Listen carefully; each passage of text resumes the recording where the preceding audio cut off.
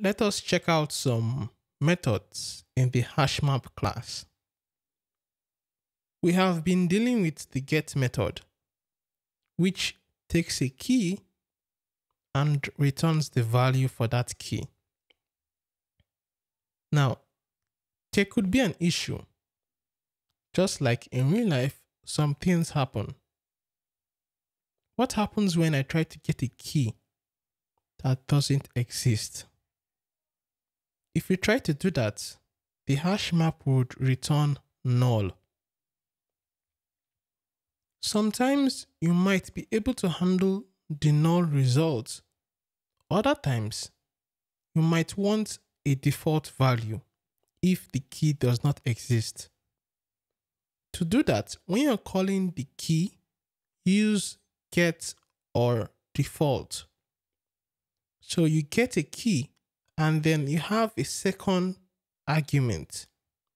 That means that argument would be returned if that key doesn't exist and doesn't have a value.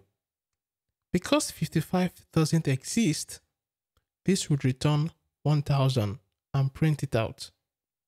Had it been the key was 5, the key 5 exists and has a value 90. So it would print that out because it exists. If it didn't, it would just use the default value, which is 1000.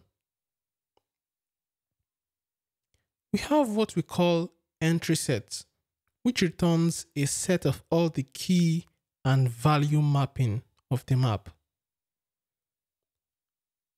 To get the entry set, you call the hash map variable dot the entry set method. We can print out the entry set in the printout statement, but we can do more than that. We can loop through the entry set and get each key and value. I would prefer to use a for each loop. Remember in the for each loop, in the left, you have a variable representing each element, and in the right, you have the collection of elements. Now, the collection of elements is the variable entries. Each element is represented by the variable called entry.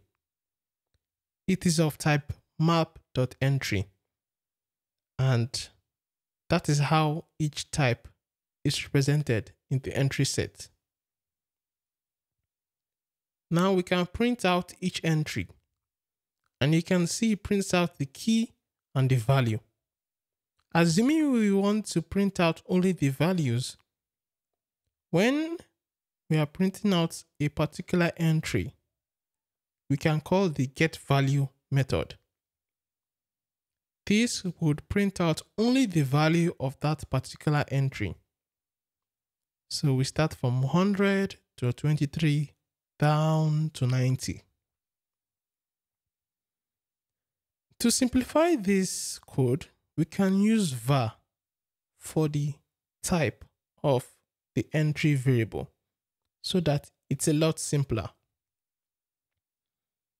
var, as you can see, makes the code look simpler and easy on the eyes, so you don't have to state the type of the entry variable. We already know it.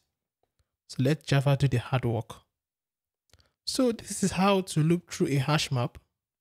You can call the entry set and loop through the values. You can also loop through the keys by calling key set.